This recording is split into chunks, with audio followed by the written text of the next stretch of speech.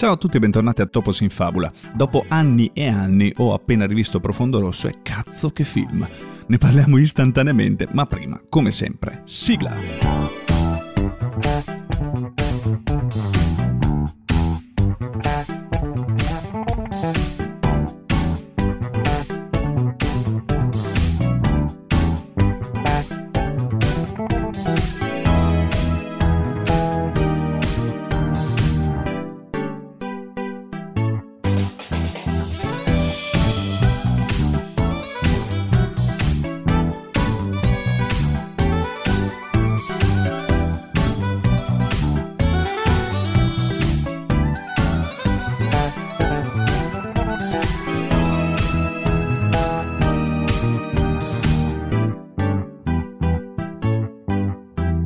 Trauma è un occhio che vede, trauma è testimonianza, ma anche sogno è il significato del tedesco Träume. Eh, traumatico è un evento che si iscrive nel soggetto come un geroglifico, un'orma incancellabile che chiede incessantemente di essere trattata, rimossa o inclusa nel flusso narrativo di colui che ne è segnato. L'impossibilità di rimuovere un trauma, di cancellarlo dalla coscienza, come accade nei soggetti psicotici, comporta una ripetizione sempre uguale dell'evento che si è impresso sotto forma di incubi, allucinazioni o attraverso la messa in scena seriale letterale del trauma stesso, nel tentativo impossibile di farne qualcosa, di elaborarlo simbolicamente. La messa in scena vorrebbe addomesticare, depotenziare l'evento, mettere distanza tra lo stesso e il soggetto, ma questa dinamica in alcuni casi si traduce in una eh, riproposizione continua del contenuto traumatico così come avvenuto, senza mediazione, senza trasformazione. Nel 1975 Dario Argento mette in scena il suo film fino a quel momento più teorico, un'opera lucidissima sullo sguardo e sulla percezione, sull'impossibilità di rimuovere, di dimenticare. Profondo Rosso è a tutti gli effetti un film sull'impossibilità di salvarsi, di sopravvivere al trauma. Così il regista si serve di personaggi che hanno visto cose, che sanno vedere oltre il visibile, che hanno dimenticato ma non del tutto per raccontare l'insistenza tragica e inesorabile di un reale che si ripropone sempre uguale perché scrive scritto indelebilmente nella carne dei suoi testimoni e protagonisti. Storie di fantasmi che tornano sempre nello stesso luogo e ripetono sempre le stesse azioni. Profondo Rosso è intessuto di dettagli macroscopici, di un'attenzione ossessiva, ripetitiva, quasi morbosa per quello che si trova ai limiti del visibile. Eh, parti di oggetti e di corpi che non inquadriamo nella loro totalità, ma che restano appunto pezzi, frammenti. Ingrandire il dettaglio fino a fargli occupare tutto lo schermo sembra rispondere all'urgenza di guardare dentro, di entrare in profondità, proprio quello che cerca di fare il protagonista Mark Daly, ehm, alle prese con dettagli che non tornano, con porzioni di immagini e ricordi che non riescono ad incastrarsi in una visione unitaria capace di dare un senso al mistero in cui è coinvolto. Il mistero di Profondo Rosso non ha a che fare con l'identità dell'assassino, la cui schizofrenia a, a tratti perfino caricaturali si manifesta nella ripetizione di frasi e nella messa in scena ciclica di un evento avvenuto molto tempo prima. Quello che sembra stare a cuore al regista è il confronto con con l'impossibile, la distanza incolmabile tra sguardo ed evento, tra soggetto e oggetto. Così nel prologo del film lo spettatore assiste indirettamente ad un omicidio. Una volta entrato nell'appartamento della sensitiva Helga Ullman, Mark non si accorge di aver visto l'assassino riflesso in uno specchio, aver scambiato il suo viso per uno dei volti mostruosi ritratti in un quadro che poi pensa sia stato fatto sparire o spostato mi viene la pelle d'oca anche solo a parlarne.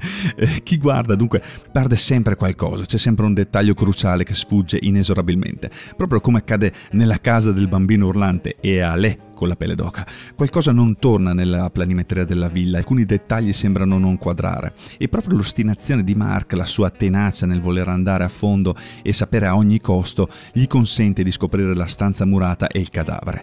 In questa scena Dario Argento rappresenta in modo molto efficace il ritorno del rimosso e sembra suggerire che questo sia spesso portatore di distruzione e rovina. Non a caso la villa è distrutta dalle fiamme poco dopo la scoperta. Chi guarda perde sempre qualcosa, chi riesce a vedere con precisione gli eventi è proprio la sensitiva Helga Ullman, le sue capacità telepatiche che nel film diventano oggetto di un convegno in una tra le prime scene, le consentono di entrare in contatto con la mente dell'assassino e arrivare a conoscerne addirittura il nome. Chi può vedere chiaramente, sembra dire il regista, è solo chi non si serve dei propri occhi. Curiosamente, molti anni dopo, in Occhiali Neri, eh, Dario Argento fa una riflessione analoga. La serie di omicidi rituali, collocati quindi in una dimensione di rievocazione del trauma originario, prende origine proprio su successivamente alla scena del convegno. Ognuno di questi è preceduto dall'ascolto della ninna nanna che lo stesso assassino aveva ascoltato nel momento in cui il suo scompenso aveva avuto origine e che ripropone a ogni vittima affinché questa eh, l'ascolti e si collochi suo malgrado nel quadro dell'evento scatenante. E se la verità è potenzialmente fatale, ed Eiga è la prima a scoprirlo, anche chi prova a colpirla, a nasconderla, non subisce sorte migliore. Il personaggio di Carlo è in questo senso esemplare. Non solo, spoiler, ma cazzo, il film è uscito prima che io nascessi, se non l'avete mai visto lo spoiler ve lo meritate. Dicevamo, Carlo tenta disperatamente di nascondere la colpevolezza della madre, prigioniero di un legame simbiotico, ma passa la sua vita a occultare perfino a se stesso il proprio orientamento sessuale, la propria identità. La sua morte è una delle più sadiche e feroci della della filmografia argentiana, un supplizio infinito che somiglia al martirio che lo stesso Carlo si era fino a quel momento autoinflitto. L'autore non fa sconti, esibisce ogni segno a cielo aperto, ogni tratto traumatico così com'è, senza mediare, senza alcun filtro.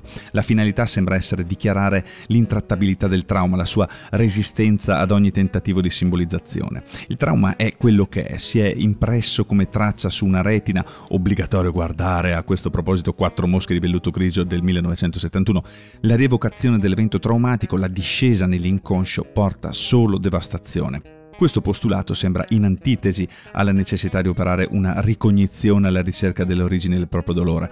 La verità è materia da iniziati, come suggerisce la figura di Eiga. E anche a quel livello l'incontro può rivelarsi fatale, in quanto Dario Argento fa coincidere trauma e verità. La verità è traumatica, sempre, anche sfiorarla può essere insidioso.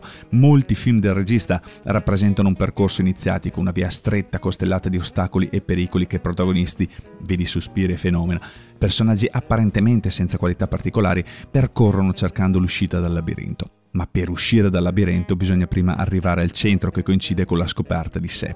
Se in Suspiria questo avveniva attraverso la rinascita iniziatica di Susie in Strega, in Profondo Rosso la trasformazione di Mark ci viene suggerita dal suo riflesso nella puzza di sangue lasciata dal cadavere dell'assassino decapitato. In entrambi i casi viene uccisa una madre terribile, portatrice di morte, follia e caos.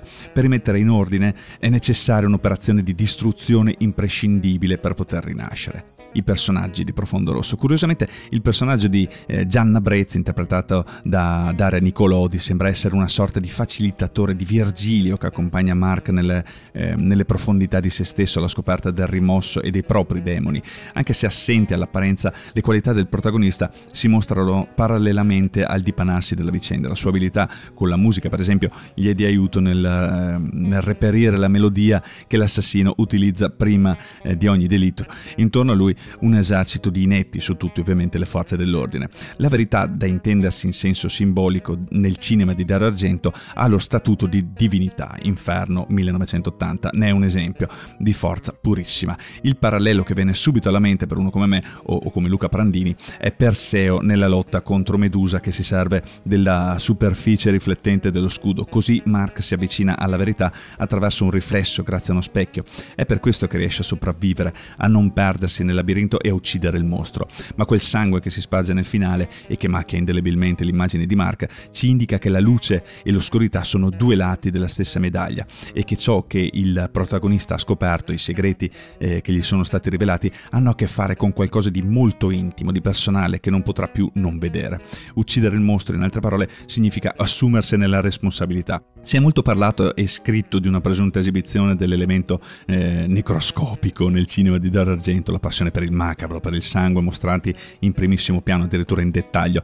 Ma questo non è altro che un modo di insistere sul profondo, sull'insondabile, sulla morte come elemento reale un'indicazione precisa come avviene in Inferno, peraltro, di guardare sotto la suola delle nostre scarpe invece di avere l'intelletto, la ragione come unica guida. Inevitabile pensare alla discesa di Jennifer Corvino nelle viscere della Terra appesa al filo telefonico di Arianna in Fenomena del 1985 o all'esplorazione verticale degli abissi eh, in cui alberga Mater Tenebrarum all'inferno, in Inferno, scusate. E l'integrazione degli opposti è l'unico modo per superare le prove all'interno del labirinto e uscirne vittoriosi. Misteriosi. La passione per il macabro che molti riconoscono o rimproverano a Dario Argento è quindi un segnale, uno sguardo preciso puntato verso la notte per recuperare una coscienza allargata. Il profondo rosso, molte cose oscure succedono di notte, esplorazioni, omicidi, dialoghi sul senso della vita, rivelazioni illuminanti. Le notti argentiane sono uno scrigno di saperi, di verità pronte a svelarsi agli occhi di chi sa vedere oltre la superficie delle cose. Di giorno, al contrario, tutto cambia, lo stesso registro filmico si fa più convenzionale, bidimensionale, privo di libere associazioni. L'impermeabile nero dell'assassino dà l'impressione di essere avvolto intorno alla notte e di essere a sua volta inghiottito dal buio delle strade torinesi. La città vuota notturna fotografata magistralmente da Luigi Cuvelier non è solo la cornice alle vicende, ma è protagonista e inghiotta i personaggi e gli spettatori allo stesso tempo. Il film si conclude non a caso con la formula avete visto Profondo Rosso, vale a dire siete stati testimoni, avete compiuto un viaggio, avete visto oltre la porta e il vostro modo di vedere le cose, di inquadrare la realtà, forse non saprà più lo stesso. È innegabile a questo proposito la novità rappresentata dallo sguardo del regista, la, la, sua attenzione a dettagli apparentemente insignificanti che in Profondo Rosso trova la sua prima espressione, una serie quasi rituale di inquadrature macro, di fotogrammi riempiti da oggetti, formi, corpi tagliati, lame, superfici riflettenti, occhi, bocche, denti, sangue. Abbiamo visto oltre la soglia, là dove il buio si addensa, dove la verità si nasconde senza alcuna certezza se non la volontà di conoscere, di arrivare in fondo, di trovare trovare il centro. E con questo si conclude anche questa puntata leggerina di Topos in Fabula. A me non resta che ringraziarvi come sempre per l'ascolto e darvi appuntamento alla prossima settimana con una nuova puntata.